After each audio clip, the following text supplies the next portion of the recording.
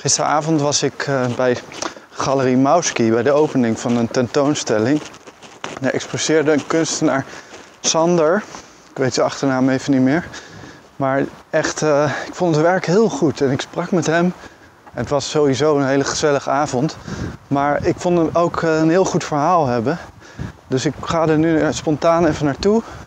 Kijken of we een leuk filmpje kunnen maken. Het regent wel weer. Nou ja, goed.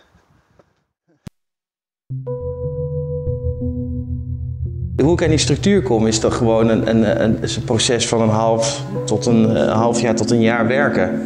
Uh, het zijn honderden, soms wel duizenden lagen verf. En ja, eigenlijk bouw ik met verf en door die gelaagdheid ontstaan de structuren. En uiteindelijk bouw ik weer verder op die structuren en krijg je, krijg je dit. Waar ik dan naar op zoek ben is dat je als toeschouwer niet meer het gevoel hebt dat je naar verf kijkt. Doordat er zoveel tijd in zit en zoveel verschillende handelingen uh, ontstijgt de verf zijn materialiteit. En dat is wel uh, waar ik naar op zoek ben. Of wat mij intrigeert of wat mij bezighoudt, wat mij elke dag naar het atelier brengt. Dat je dan uh, ja, telkens vanuit een andere positie iets nieuws kunt ontdekken of kunt zien of kan ervaren. Dus dat zijn dingen ja, die, die wel belangrijk zijn in het werk.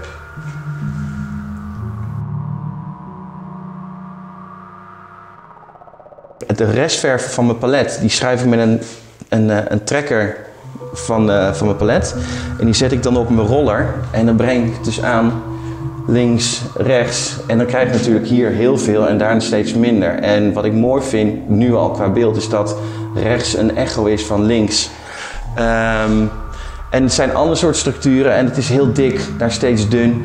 En um, ja, nu heb ik zo'n vraag in mijn hoofd van oké, ik ben benieuwd hoe het na, na twee jaar of na tweeënhalf jaar eruit ziet. Hoe, hoe erg dit dan is gegroeid en heeft het dan, um, heeft het dan um, ook zo'n omwenteling, zo'n omslagpunt meegemaakt waarin het zichzelf ontstijgt naar, naar iets anders.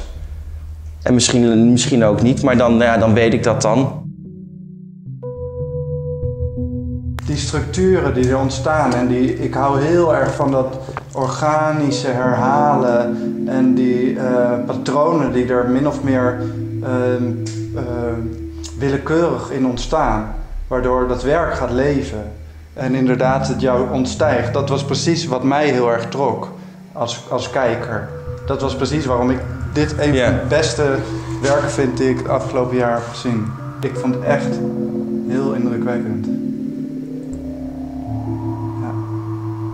Maar daarom vind ik het ook extra mooi om jouw verhaal erbij te horen. En jouw proces en jou als persoon ook ja. erbij te ontmoeten.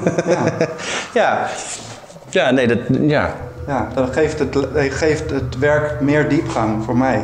Ja. Omdat ik sowieso geïnteresseerd ben in mensen. Ja. Maar ja, absoluut.